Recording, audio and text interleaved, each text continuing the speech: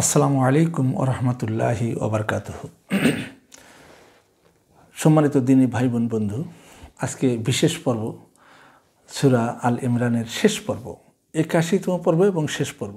আজকে একশো নিরানব্বই এবং দুশো নম্বর আয়াত নিয়ে কথা বলব। তো এখানে দুই একটা কথা বলা খুবই জরুরি যে আপনারা যারা একের প্রথম থেকে দেখে আসছেন যারা লাইক, কমেন্ট, শেয়ার দিয়ে আমাকে সহযোগিতা করেছেন, তাদেরকে অসংখ্য ধন্যবাদ জানাচ্ছি। আমরা ইতিমধ্যে তিনটা সুরা শেষ করে ফেললাম ইনশাল্লাহ তো আসলে এখানে এই পবিত্র কালাম যারা আসলে নিয়মিত পড়া হয় না, অনেকেই আবার ফির নেটে যথেষ্ট সরব, তারা ইচ্ছা করলে এই তিন চার মিনিট বা সাড়ে তিন মিনিট এই সময়টা খরচ করে যদি আপনারা এই আলোচনাগুলো দেখেন তাহলে নিঃসন্দেহে এর একটা প্রতিফল আপনারা অবশ্যই কেমতের দিন পাবেন। কারণ এখানে আল্লাহর কালাম, সরাসরি আল্লাহর কালাম থেকে কথা বলছি, কোরআন শরীফ সামনে নিয়ে কথা বলছি। এখানে আমার কোনো বানানো কথা নয়। তো আপনারা মানে আমি আশা করব যে আপনারা এড়িয়ে যাবেন না। দুই চার মিনিট গেল, একটু দুই চার মিনিট আপনারা দেখলেন। এখানে লাভ ছাড়া লস অবশ্যই নেই। আমি আসলে দাওয়াতেই প্রোগ্রাম করতেছি আপনাদেরকে আহ্বান জানাচ্ছি। আসলে আমার তো লস নাই, কারণ আমি এখানে ভিডিও করছি, অনেক কষ্ট করে একটা ভিডিও করলে, যারা করে, তারা জানে যে একটা ভিডিও করতে কতটা পরিশ্রম হয়। অনেক পরিশ্রম, অনেক মেধা খরচ করতে হয়। যদিও আমি এডিট করি না, এই ভিডিওগুলো সরাসরি আমি ভিডিও করি এবং এই অবস্থায় আমি হয়তো আমার আল কোরআনের ডাক ইউটিউবে দেই এবং ফেসবুকেও দিচ্ছি। তো এটা এডিট করি না, সরাসরি যেটা আলোচনা করি সেটাই দিই। এডিট অনেক ঝামেলা আর আমার পক্ষে এটা সম্ভব না, আমি খুব ব্যস্ত মানুষ। তো আপনারা যদি নিয়মিত দেখেন তো আসলে আমার এই আলোচনা সার্থক। তো আজকে এই একাশিতম পর্ব পর্বের মাধ্যমে আজকে শেষ হতে যাচ্ছে সুরা আল ইমরান। খুব ভালো লাগছে যে আল্লাহ রাবুল আলমিন বড় দয়ালু, তিনি আমাকে সাহায্য করেছেন বলেই এতটুকু আসতে পেরেছি। আর আল্লাহর কাছে এই আশাবাদ ব্যক্ত করি যে আল্লাহ রবুল্লা আলমিন যেন শেষ পর্যন্ত সুরা নাচ পর্যন্ত এইভাবে আলোচনা করতে পারি। আল্লাহ কাছে আশাবাদী উনি আমাকে অবশ্যই দয়া করবেন, সাহায্য করবেন। আল্লাহর সাহায্য ছাড়া ভালো কাজ করা কোনোভাবেই সম্ভব না। এটা আল্লাহর বড় দয়া। যে এই কাজটা করতে তৌফিক দিয়েছেন। তো আপনারা যদি এখান থেকে শিক্ষা গ্রহণ করে, এখানে জাল জয়ীব বলতে কিছু নেই, সরাসরি আল্লাহ রব্বুল আলমের কালাম থেকে আলোচনা করছি। তো আসলে খুব ভালো লাগবে। আর এই ভালো লাগার জন্যই যে আমি সারানজুল সহ আলোচনা করছি, যাতে ওই আয়াতগুলো খুব ভালো লাগে আর কি। সারানজুল জানা থাকলে আয়াত, আয়াতগুলো শুনতে ভালো লাগে এবং কোন পরিপ্রেক্ষিতে আয়াত নাজির হয়েছে জানলে খুব মজা লাগে, আমল করতে সুবিধা হয়।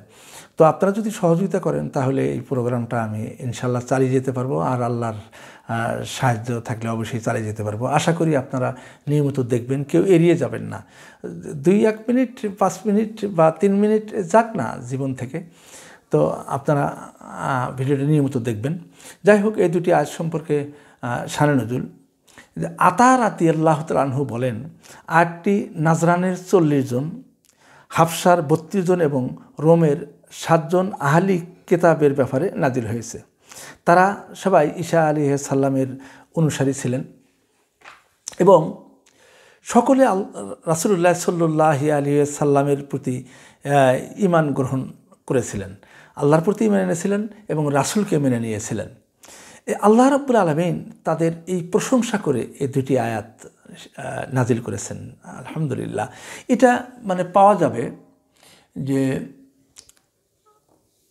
তাপসিরে কুর্তুবি ছয় নম্বর খণ্ডে দুশো ছাপ্পান্ন নম্বর পৃষ্ঠায় রুহুল মা আনি চার নম্বর খণ্ডে একশো তেহাত্তর নম্বর পৃষ্ঠায় এই ঘটনাগুলো মানে পাওয়া যাবে।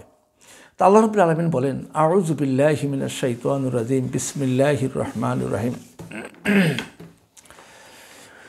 ওয়া ইন্না, নিশ্চয়ই মিন আহালের কেতাব, আহালে কেতাবদের মধ্যে লা অবশ্যই মান ইউমেনুবিল্লা যে ব্যক্তি আল্লাহর প্রতি ইমান আনে, ওমা উং জিলা ইলাইকুম, এবং তাদের প্রতি যা নাজেল করা হয়েছে তার প্রতি ইমান আনে, ওমা উং জিলা ইলাইহিম, এবং তাদের প্রতি নাজেল হয়েছে যা তার প্রতি ইমান আনে।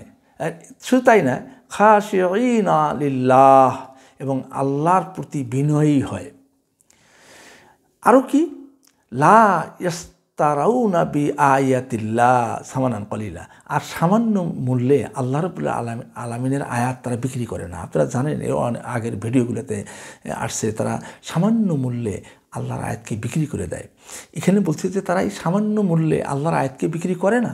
উলাইকালাহুম আজরুহুম এন্দা রব্বিহিম।